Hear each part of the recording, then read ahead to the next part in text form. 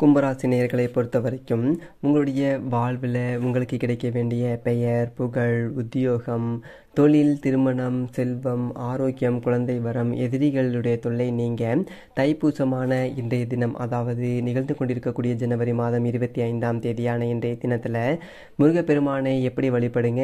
முருகப்பெருமானை நீங்கள் வழிபடுவதன் மூலமாக நினைத்ததை நிச்சயமாக நடந்தேறக்கூடிய ஒரு தருணமாக இந்த தைப்பூச திருநாள் அமைஞ்சிருக்குதுங்க. அந்த வகையில் நேர்களை பொறுத்த வரைக்கும் என்ன மாதிரியான நன்மைகள் எல்லாம் ஏற்பட இருக்கு?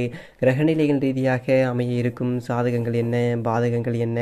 குறிப்பாக கும்பராசி நேர்களை பொறுத்த வரைக்கும் தைப்பூச திருநாளான இன்றைய தினம் மற்றும் கிரகங்களுடைய சஞ்சார நிலைகள் என்ன என்று பார்க்கும்போது மேசத்தில் குரு பகவானும் கன்னியில கேதுவும் தனுசு ராசியில சுக்கரனும் செவ்வாயும் இணைந்து சஞ்சரிக்கிறாங்க. அதே போல சூரியனும் புதனும் சஞ்சரிக்கிறாங்க. கும்பத்தில் சனி பகவானும் மீனத்தில் ராகுவும் சஞ்சரிக்கிறாங்க. இந்த கிரகங்களுடைய சஞ்சார நிலைகளின் காரணமாக என்ன மாதிரியான நன்மைகள் எல்லாம் உங்களுடைய வாழ்வில் ஏற்பட இருக்கு என்பது குறித்தான முழுமையான பதிவு தான் இந்த ஒரு வீடியோவில் நம்ம விரிவாக பார்க்க போகிறோம். அதற்கு முன்னாடி தைப்பூச திறப்பு பற்றி சற்று விரிவாக தெரிந்து கொள்வோம். தை மாதம் என்றாலே பூசம் தாங்க நம் நினைவில் வரும். தைப்பூசத்திற்கு அதிக முக்கியத்துவம் கொடுப்பது வழக்கம்.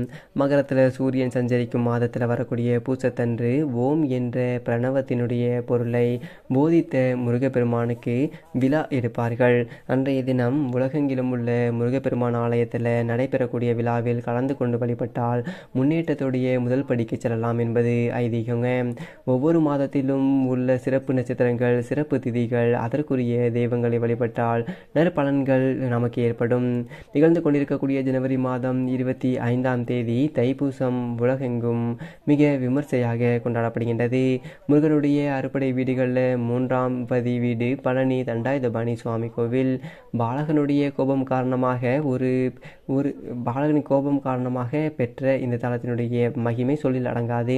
இந்த தல வரலாறு பொதுவாக அனைவரும் அறிந்ததே தனக்கு பலம் கிடைக்காத கோபத்தில் முருகன் கை கைதையை விட்டு அமர்ந்த தலம் அல்லவா பழனி சான்றோர் பலரும் அவருடைய சினம் நீங்க முயன்றும் முடியாது போகவே. பெற்றோரே இந்த தளத்தில் பிரசனமாகி முருகா நீயே ஒரு ஞான பழம் தானே பழம் நீயே என்று அன்பொழுக கேட்க முருகனுடைய மனம் முருகியது பழம் நீ என்ற ஒற்றை சொல்லுடைய முருகனுடைய சினத்தை தனித்த இந்த தலமே பழனி என்று மருவியது. அது மட்டுமல்லாது இந்த உலகில் நட்சத்திரங்களையும் மாதங்களையும் அடிப்படையாக கொண்டு சில முக்கியமான பண்டிகைகள் உற்சவங்கள் கொண்டாடப்படுகின்றது. உதாரணமாக ஆடி மாதத்தில் கிருத்திகை நட்சத்திரம் தை மாதத்திலும் கிருத்திகை நட்சத்திரம் சிறப்பு. ஆவணி மாதத்தில் அவிட்டம் நட்சத்திரம் சிறப்பு. அதே போல் திதியும் மாதத்தையும் இணைத்து சில பண்டிகைகள் உண்டுங்க.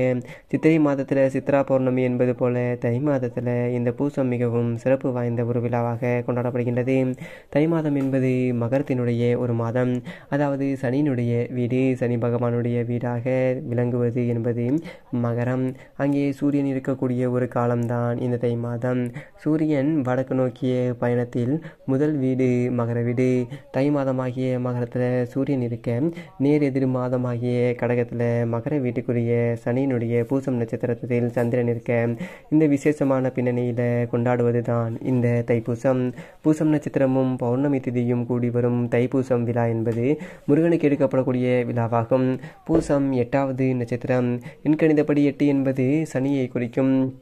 சனி நீதி பரிபாலனத்தை குறிக்கும் சனிக்கு ஜோதிட சாஸ்திரத்தில் இரண்டு வீடுகள் கொடுக்கப்பட்டிருக்கின்றது. ஒன்று மகரம் இன்னொன்று கும்பம். மகரம் என்பது வினைகளை காரியங்களை குறிக்கின்றது. அதனால் இதற்கு வினைஸ்தானம் என்று பெயர். அதே சனி அதற்கான பலனையும் கொடுப்பார் என்பதால் அதற்கு அடுத்த பாவத்தில் லாப பாவம் என்று சொல்வார்கள். பத்தாம் இடத்துல எந்ததொரு வீடு என்னதொரு விதைக்கிறோமோ அது பதினொன்றாவது இடத்துல அறுவடையாகும். நல்லதொரு கர்மாவை செய்வதன் மூலமாக நம்மை அடையாளம் நன்மை அடையலாம் என்பது ஒரு விஷயம். அது மட்டுமல்லாமல் இது சனி பகவான் சொல்லும் நீதியாகவும் விளங்கப்படுது. இன்னொரு முக்கியமான விஷயத்தையும் நாம் இங்கு கவனிக்க வேண்டும். தை மாதமாகிய மகர ராசியில் செவ்வாய் உச்சமாகின்றாருங்க. செவ்வாய் என்பது முருகப்பெருமானுடைய ஆற்றல் அதே போல் பெண் தெய்வமாக என்றால் துர்க்கையை குறிக்கும் அதனால் தான் தை மாதம் என்பது வெள்ளிக்கிழமை அம்பாளையும் பூசத்தில் முருகப்பெருமானையும் வணங்குகின்றனர். அதே போல் எட்டு என்பது துன்பத்தை குறிப்பதால் அந்த துன்பத்தையும் முருகப்பெருமான் வழிபாட்டின் மூலமாக நீக்கிக் கொள்கின்றனர். சனியினுடைய ஆதிக்கம் என்பது முழுமையாக இருக்கும்போது அதாவது குறிப்பாக ஏழரை சனி அஷ்டம சனி கண்டக சனி அர்த்தாஷ்டக சனி அதே சனி நட்சத்திரமான பூசம் நட்சத்திரத்தில் சனியினுடைய மகர ராசியில் உச்சம் பெறக்கூடிய முருகனை வணங்கி நிவாரணம் பெறுகின்றனர். அது மட்டுமல்லாது இன்றைய தினத்தில் முருகனை வழிபட வினைகள் என்பது ஏற்படும். ஆறு படை வீடுகளை அறுபடை வீடுகள் என்று சொல்வார்கள். ஏற்கனவே தை மாதம் என்பது வினைகளையும் வினைகளால் ஏற்படக்கூடிய விளைவுகளையும் குறிக்கக்கூடிய ஒரு மாதம் என்ற தத்துவத்தை பார்த்தோம். பூசம் நட்சத்திரம் என்பது மனதில் தோன்றக்கூடிய ராசியான கடகராசியில் இருக்கக்கூடிய நட்சத்திரம் என்பதையும் பார்த்தோம். இந்த வினையும் விளைவுகளும் என்பது சக்கரத்தை போல சுழன்று கொண்டே இருக்குங்க. இந்த கர்ம வினையினுடைய சுழற்சியை விளக்கினால்தான் வெகு மோட்சம் கிடைக்கும். கர்ம வினையினுடைய சுழற்சியை அகன்று வீடுகள் இந்த விளைவுகள் என்பதால் அறுபடை வீடுகள் என்றும் சொல்வார்கள். சூடான ஞானவேல் கொண்டிருக்கக்கூடிய முருகப்பெருமானை தைப்பூசம் அன்று அறுபடை வீடுகளிலும் வணங்குவதன் மூலமாக தீவினைகளை அடியோடு அறுத்து கொள்ளலாம். அது மட்டுமல்லாது இந்த தைப்பூசமான இன்று பிரம்மகத்தி தோஷம் என்பது நீங்கிய ஒரு நாளாக கூறப்படுகின்றது. எல்லா சிவத்தலங்களிலும் தைப்பூசம் கொண்டாடப்பட்டாலும் நமக்கு உடனடியாக நினைவுக்கு வருவது என்பது தஞ்சை மாவட்டத்தில் இருக்கக்கூடிய கும்பகோணம் அருகே அமைந்துள்ள திருவிடைமருதூர் தான். இந்த தளத்தில் உள்ள இறைவன் சுயம்பொலிமிக மூர்த்தியாகவும் சம்பந்தர் அப்பர் சுந்தரர் தேவார பாடல் பெற்ற சிவத்தலமாகும். விரதங்களால் மருவிய மாதம் தொடர்பானவர். ஏனோ வந்து கூடி தைப்பூச நாளில் காதில் பொருந்தி நீராடி உலகவரோடு தாமும் மகிழுமாறு திருத்தலமான திருத்தலமான நான்மறைகளில் அந்தணர்கள் முறையால் ஏத்தவும் இதை மருதிலை பொருந்தியுள்ள கோவிலை இருப்பிடமாக கொண்டுள்ளீர் என்பது திருவார பாடல் அதே போல இன்றைய நாள் முருகப்பெருமானை வழிபடுவதன் மூலமாக உங்களுடைய வாழ்வில் கிடைக்கக்கூடிய பொருள் செல்வம் உத்தியோகம் தொழில் உத்திர பாக்கியம் அதே போல் பித்திருத்தொலைகள் நீங்கி நல்லதொரு முன்னேற்றம் ஏற்படும் என்பதில் எந்த ஒரு ஐயமும் கிடையாதுங்க. இவ்வளோ மேன்மைகள் நிறைந்த தைப்பூச திருநாளான இன்றைய தினத்தில் கும்பராசியில் இருக்கக்கூடிய மேலும் என்ன மாதிரியான நன்மைகள் எல்லாம் உங்களுடைய வாழ்வில் ஏற்பட இருக்கு என்று பார்க்கும்போது நாம் ஏற்கனவே சொன்னது போல ஜென்மசனி என்று பயப்பட வேண்டாங்க. மகரம் கும்பம் ராசிகளுக்கு சனி பெரிய அளவில் பாதிப்பை ஏற்படுத்த மாட்டாருங்க. இருந்தாலும் இந்த செயலிலும் நிதானம் மிக மிக முக்கியங்க. குறிப்பாக இந்த தைப்பூசமான இன்றைய தினத்தில் முருகப்பெருமானை பிடித்து கொண்டு அவருடன் வழியில் நடப்பதன் மூலமாக சனி பகவானால் ஏற்படக்கூடிய அனைத்து இன்னல்களும் நீங்கி எடுத்ததொரு காரியத்தில் வெற்றி நிச்சயம் உங்களுக்கு தான் என்பது போல எண்ணற்ற பல நன்மைகள் என்பது உங்களுடைய வாழ்வில் ஏற்படுங்க.